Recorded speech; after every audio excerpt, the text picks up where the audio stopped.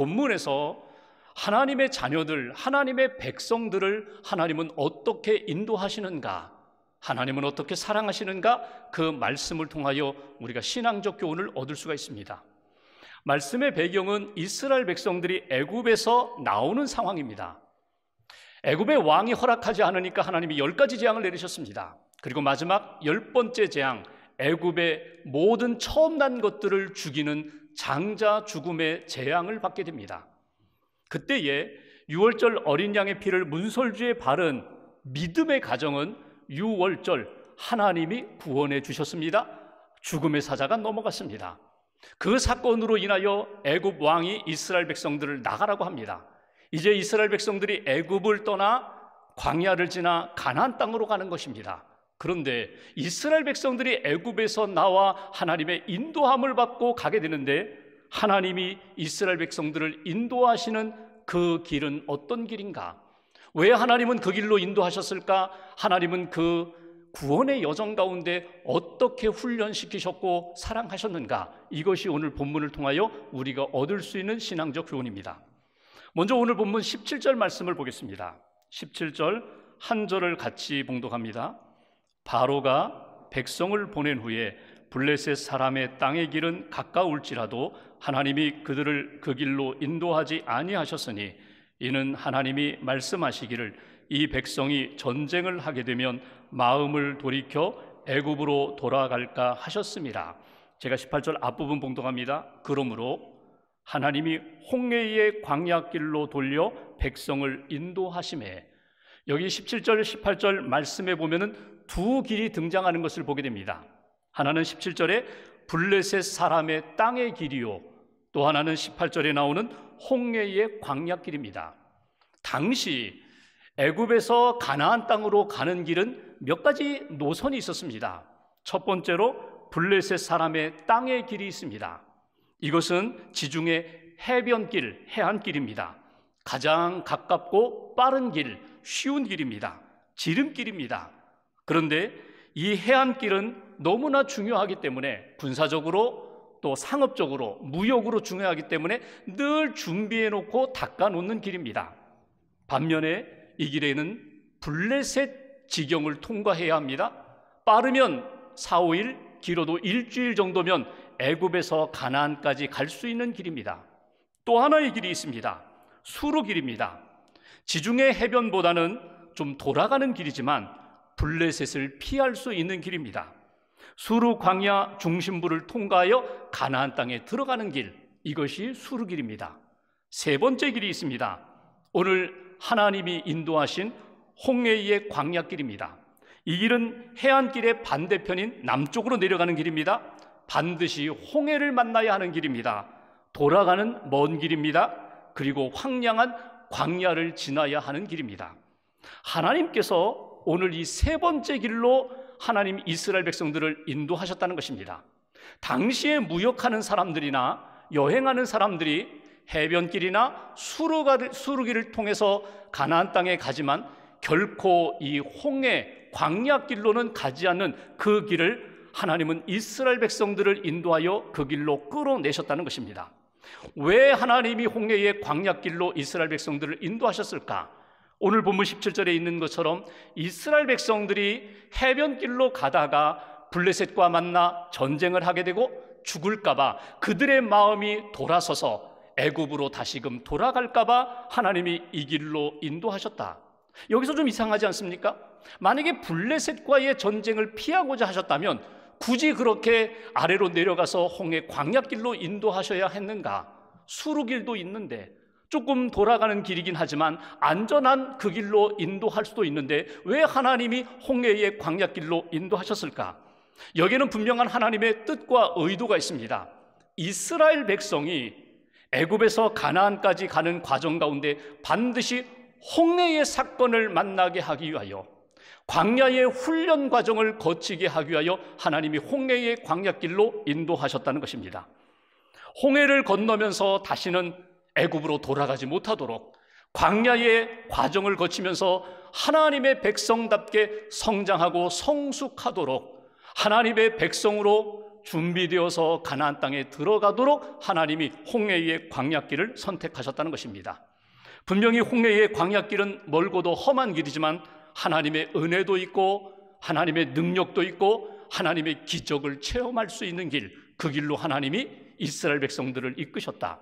여기서 우리에게 주시는 첫 번째 메시지가 있습니다. 이스라엘 백성들에게 오늘 우리들에게 주시는 하나님의 마음 첫 번째로 애굽으로 돌아가지 말라.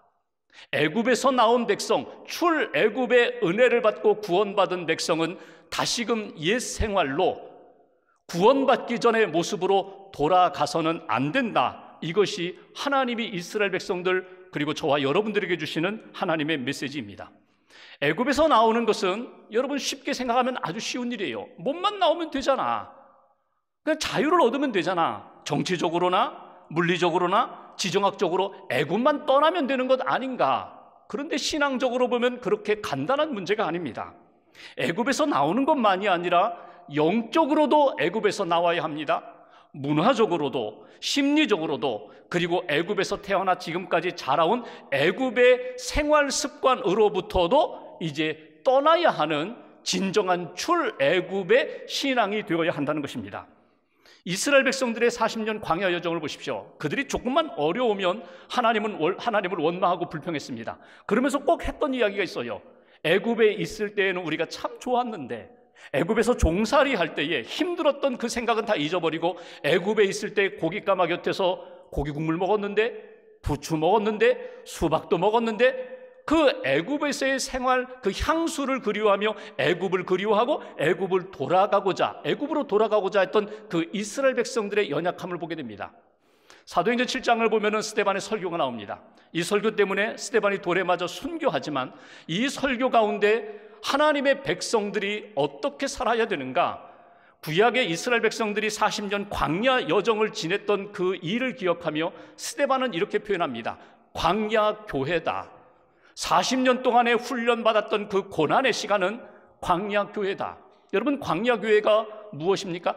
애굽에서의 생활이 아니에요. 애굽에서 구원함 받았고 이제 가나안 땅을 바라보면서 천국 소망을 잃어버리지 말고 지금도 믿음으로 고백하며 훈련받고 성장하고 성숙되어서 가나안 땅에 들어가는 하나님의 백성으로 준비시키시는 역사. 오늘 우리가 신앙 생활하는 것도 다르지 않습니다. 하나님 우리를 구원해 주셨습니다. 다시는 애굽으로 돌아가지 않게 해 주옵소서. 지금 이 땅에서 하나님 앞에 훈련받고 하나님 앞에서 성장하고 성숙해서 결국 하나님이 약속하신 가나안 땅에 갈 수 있는 하나님의 사람 되게 해달라고 이 광야의 여정 가운데 믿음으로 오직 주님만 붙잡고 바라보는 주님만 의지하는 하나님의 백성들로 하나님의 자녀로 다시 한번 회복되시기를 주님의 이름으로 기원합니다. 두 번째로 18절 후반부를 보십시오. 제가 봉독합니다. 이스라엘 자손이 애굽 땅에서 대열을 지어 나올 때에 출애굽하는 상황입니다. 19절 한 절 같이 봉독합니다. 모세가 요셉의 유고를 가졌으니 이는 요셉이 이스라엘 자손으로 단단히 맹세하게 하여 이르기를 하나님이 반드시 너희를 찾아오시리니 너희는 내 유고를 여기서 가지고 나가라 하였음이더라. 아멘. 여기 19절 앞부분에 보면 이런 표현이 나와요. 모세가 요셉의 유고를 가졌으니 요셉의 유골이 나와요. 400여 년 전에 애굽 땅에서 죽은 모세 요셉의 그 뼈들을 추려서 모세가 그 요셉의 유골을 가지고 출애굽했다는 것입니다. 여러분 이것이 왜 중요한가? 여러분 창세기 마지막 장 50장에 보면은 그 요셉의 유언이 나옵니다. 그가 죽을 때 어떤 말을 했는가? 하나님이 우리 할아버지 할아버지 아브라함, 이삭, 야곱에게 주신 언약이 있다.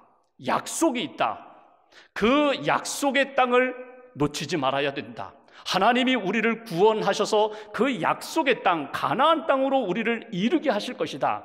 그때에 내 해골을, 내 유골을, 내 뼈를 추려서 가지고 가서 거기 약속의 땅에, 가나안 땅에 나를 장사하라. 이것이 요셉의 유언이에요. 히브리서 11장에 보면은 믿음의 조상들에 대한 믿음을 요약한 부분이 나옵니다. 아브라함의 믿음은 어떻고 이삭의 믿음은 어떻고 그 신앙인들 믿음의 조상들의 믿음 생활 가운데 가장 핵심적인 것만 정리했거든요. 그런데 요셉의 신앙을 정리할 때 요셉의 신앙은 그가 애굽에 가서 국무총리가 되었다, 가족들을 초청해서 잘 살게 했다 그런 얘기는 없습니다. 히브리서 11장 22절에 보면은 딱 두 가지를 이야기해요. 요셉이 유언하기를 마지막 임종의 시간에 이스라엘 자손이 이곳에서 떠나게 될 것이다. 그때에 나의 뼈를 가지고 가라고 이 두 가지를 유언했다는 거예요. 이 요셉의 신앙, 요셉의 꿈, 요셉이 다음 세대에게 꼭 남겨주고 싶은 신앙의 유산은 바로 이것이었다. 여러분 역사를 보시면 실제로 그랬거든요. 요셉이 그 유언한 대로 이스라엘 백성들이 애굽에서 400여 년 살아가는 동안 요셉의 유언을 기억하고 있습니다. 그리고 오늘 모세가 출애굽할 때에 요셉의 유고를 가지고 출애굽합니다. 나중에 여러분 여호수아 마지막 장 24장을 보십시오. 이스라엘 백성들이 여호수아와 함께 가나안 땅에 들어갔을 때 그 요셉의 유고를 가져다가 세겜 땅에다가 장사하는 것을 보게 됩니다.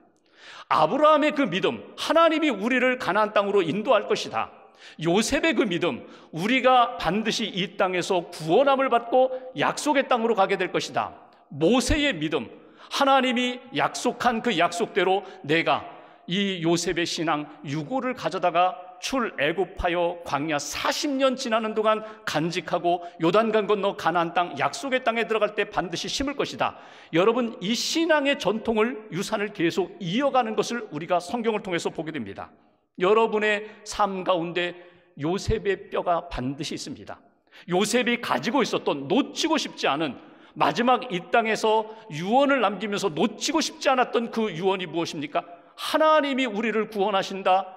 나도 비록 내 몸은 이 땅에서 마무리하지만 내 땅은 하나님이 약속한 땅은 이 애굽이 아니라고 약속하신 가나안 땅이라고 내 뼈를 가지고 가나안 땅으로 가라고. 여러분 우리 인생에도 요셉의 뼈와 같은 것이 있어요. 놓치고 싶지 않은 아니 놓쳐서는 안 되는 가장 신앙의 중심적인 증표가 있어요. 간증이 있어요. 하나님이 나를 구원하신 사건, 어려울 때에 내게 은혜 베풀어 셨던 사건, 말씀, 그리고 하나님의 은혜 가운데 많은 사람들에게 남기고 싶고 내 믿음의 자손들에게 남기고 싶은 믿음의 유훈, 유산들. 여러분 놓치지 마시라는 거예요. 이 요셉의 뼈 그리고 모세가 그것을 가지고 출애굽하여 가나안 땅까지 인도하는 이 모습을 통하여 우리에게 주시는 두 번째 신앙적 교훈이 있습니다. 이스라엘 백성들에게 저와 여러분들에게 하나님이 간절히 원하시는 마음 약속의 땅을 향하여 가라는 거예요. 내가 머물 곳, 내가 안주할 땅은 애굽이 아니다, 광야가 아니다. 내가 너희들에게 약속한 그 가나안 땅을 향하여 너희들은 걸어가야 돼. 너희들은 바라보면서 그 땅을 사모하면서 천국 사모하는 인생이 되어야 돼. 이것이 오늘 우리에게 주시는 메시지예요. 19절 말씀을 보시면 요셉이 이렇게 고백합니다. 하나님이 반드시 너희를 찾아오신다. 하나님의 때에 구원의 때에 반드시 애굽에 있는 우리 백성, 우리 후손들을 반드시 찾아오셔서 건져내신다. 그때 우리는 나가는 거야. 하나님의 뜻 가운데 우리는 출애굽하는 거야. 그때 나도 뼈만 남은 나도 함께 붙잡고 나도 출애굽하게 해다오. 이, 뭐, 이 말씀을 어떻게 우리의 삶에 해석하고 적용할 수 있을까? 월터 브루글만이라는 신학자는 이 말씀을 이렇게 해석해요.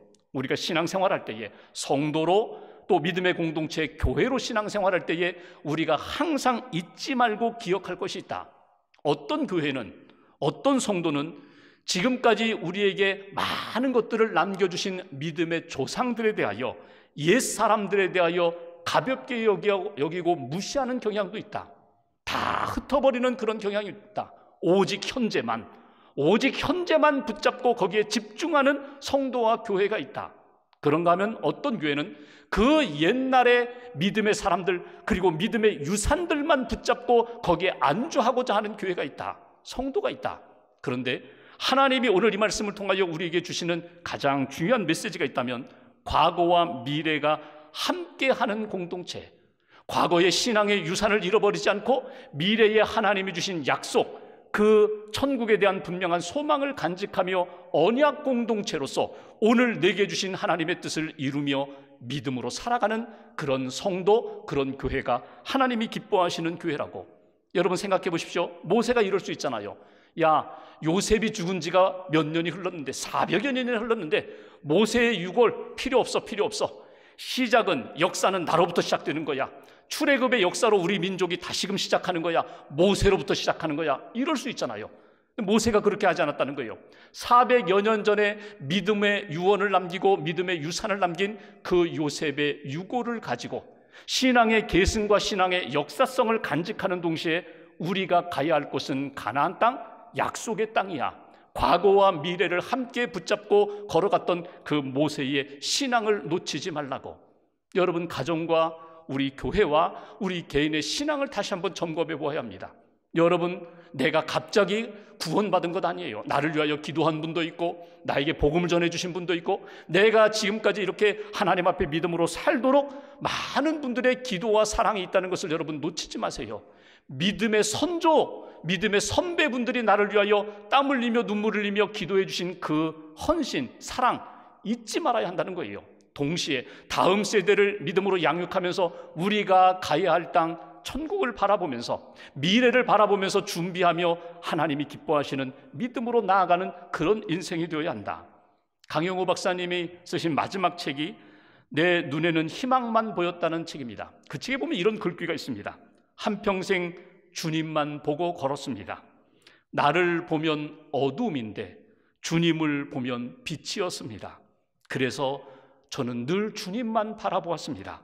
여러분들도 빛의 길에 들어서기를 소망합니다.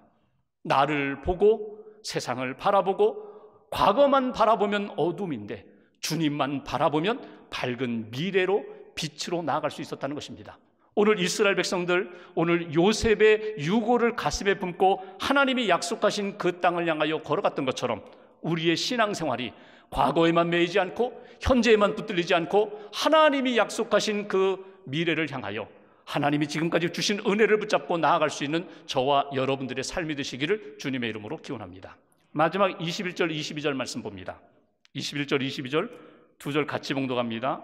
여호와께서 그들 앞에서 가시며 낮에는 구름 기둥으로 그들의 길을 인도하시고 밤에는 불 기둥을 그들에게 비추사 낮이나 밤이나 진행하게 하시니 낮에는 구름 기둥 밤에는 불 기둥이 백성 앞에서 떠나지 아니하니라 아멘. 여기 보시면 21절 여호와께서 그들 앞에서 가시며 하나님 영적인 하나님 눈에 보이지 않는 하나님이 목자가 되셔서 이스라엘 백성 출애굽한 이스라엘 백성들 앞에 가셨다는 거예요. 눈에 보이지 않는 하나님이 내가 너희들과 함께 한다. 내가 너희들을 지켜준다. 내가 너희들을 보호한다. 내가 너희를 이끌어 간다. 이것을 눈에 볼 수 있도록 보여주시는 상징물이 있는데 그것이 구름기둥, 불기둥이라는 거예요. 여러분 구름기둥, 불기둥 보십시오. 이스라엘 백성이 출애굽하는 그 순간부터 광야 40년 동안 한 순간도 하루도 떠나지 않았던 하나님의 임재하심의 상징입니다. 뜨거운 태양볕을 이렇게 가려주시고 낮에는 구름 기둥으로 보호하시고 밤에는 추위 가운데 따뜻하도록 불 기둥으로 그들을 보호하셨던 하나님의 임재하심, 보호하심의 역사. 그리고 무엇보다 중요한 것은 하나님의 그 구름 기둥, 불 기둥으로, 불 기둥으로 이스라엘 백성들을 인도해 나가셨다는 거예요. 진행해 나가셨다는 것입니다. 여러분, 구름 기둥, 불 기둥이 뭘까요? 성경 학자들이 여러 가지로 해석하는데 여러분 구름 기둥 따로 있고 불 기둥 따로 있는 두 개의 기둥이 아닙니다. 이것은 하나의 기둥입니다. 하나의 기둥이 낮에는 구름 기둥으로 보였고 밤에는 하나님이 빛을 비춰 주시고 열을 주셔서 이 불기둥으로 보였다는 거예요. 이 구름 기둥, 불 기둥으로 이스라엘 백성들이 인도함을 받았다. 오늘 우리에게 주시는 메시지가 있어요. 너희들도 하나님이 인도하시는데 주의 인도하심을 받고 살아야지. 하나님의 인도하심 가운데 주의 인도하심 가운데 사는 인생이 되라. 이것이 오늘 우리에게 주시는 메시지예요. 여러분 오늘의 구름 기둥 불 기둥이 뭘까요? 하나님의 말씀과 성령의 역사가 오늘 우리와 함께 하시고 우리를 인도하시는 하나님의 구름 기둥 불 기둥이에요. 말씀과 성령 떠나지 말아야 된다. 사도 바울이 로마서 8장 14절에 이런 고백을 합니다. 무릇 하나님의 영으로 인도함을 받는 사람은 곧 하나님의 아들이라. 하나님의 자녀는 누군가? 하나님의 영을 받은 사람, 예수 믿고 구원받은 자에게 성령을 주시는데 성령의 인도함을 받는 사람, 성령님이 내 안에 오셔서 나를 다스리십니다. 내 생각과 감정과 의지를 다스리십니다. 생각나게 해주십니다. 하나님의 뜻을 생각나게 해주십니다. 하나님의 말씀이 들려올 때 아멘으로 고백하게 하십니다. 말씀을 믿게 하십니다. 말씀에 순종하게 하십니다. 말씀의 능력을 체험케 하시는 성령님이 너희 안에 계시는데 성령님의 인도하심을 따라 살아가는 자들이 하나님의 아들, 하나님의 자녀, 하나님의 백성이 된다는 거예요. 오늘 우리에게 역사하시는 말씀과 성령 충만한 삶, 그것이 하나님이 기뻐하시는 성도. 여러분, 하나님이 기뻐하시는 교회는 어떤 교회일까요? 주님이 주인 되시는 교회. 모든 이 땅의 교회는 주님의 교회입니다. 사람이 주인 되지 않고 하나님이 주인 되시고 예수님이 머리가 되시는 교회. 하나님의 말씀이 살아있고 성령님의 능력이 살아있는 교회. 그래서 믿음, 소망, 사랑이 뜨겁게 나타나는 교회. 그 교회가 하나님이 기뻐하시는 생명력 넘치는 교회입니다. 늘 점검하셔야 돼요. 나의 목적지는 어디인가? 내 목적지는 애굽이 아니야. 광야가 아니야. 하나님이 약속하신 그 천국이야. 가나안 땅이야. 그 땅을 향하여 주의 인도하심 따라 때로는 홍해도 건너게 하시고 때로는 광야에 그 험악한 시간과 세월을 보내게 하시면서 결국은 하나님의 인도하심에는 분명한 생명의 결과가 나타난다. 이 믿음 가지고 걸어가는 하나님의 백성이 되시기를 주님의 이름으로 축원합니다. 네비게이트 선교회에 리로이 아임스라는 목사님이 계세요. 국제 선교 담당하시는 목사님인데 이분이 한 번은 이런 경험을 하셨어요. 비행기를 타고 시카고 공항에 내려서 이제 캐나다 토론토로 비행기를 갈아타시게 되는데 비행기가 너무 늦게 도착했어요. 시간이 5분밖에 남지 않았어요. 어, 비행기 이륙하기 전에 내가 그 비행기를 타야 되는데 공항이 너무 넓어요. 사람들도 너무 많아요. 그러니까 순간 당황했습니다. 몸에서 땀이 나기 시작합니다. 그래서 탑승구 쪽으로 막 뛰어가는데 막 당황이 되는데 어느 순간 한 분이 어, 승무원 제복을 입은 한 분이 곁에 다가오셔서 묻습니다. 선생님, 제가 도와드릴까요? 예, 제가요. 5분밖에 시간이 남지 않았어요. 제가 큰일 났어요. 그 비행기를 꼭 타야 되는데 사람도 많고 공항이 너무 넓어서 탑승구를 찾을 수가 없어요. 그랬더니 그분이 제 손 꼭 잡으세요. 제가 안내해 드릴게요. 제가 인도해 드릴게요. 그분 믿고 그분 손잡고 가는 거예요. 근데 이분이 너무 잘 인도하시는 거예요. 자기를. 물었습니다. 선생님, 선생님은 누구십니까? 그랬더니 그분이 이야기합니다. 선생님이 타실 그 토론토행 비행기 기장입니다. 제가 도착하지 않으면 비행기 이륙하지 못합니다. 그 이야기를 들으니까 마음이 편안해지는 거예요. 그렇지. 이분과 함께만 가면 내가 비행기 놓치지 않는 거야. 그 순간 하나님이 이 목사님에게 주신 말씀 하나가 떠올랐어요. 사도행전 2장 25절 말씀. 내가 항상 내 앞에 계신 주를 배웠으며 나로 요동치 않게 하기 위하여 그가 내 우편에 계시도다. 시편 16편 다윗의 고백입니다. 하나님이 항상 내 앞에 계시며 하나님이 항상 내 오른쪽에 계시며 나를 붙들어 주심으로 내가 요동치 아니하리로다. 내가 당황하지 아니하리로다. 내가 흔들리지 아니하리로다. 여러분 하나님은 이스라엘 백성들 홍해의 광야길로 인도하셨습니다.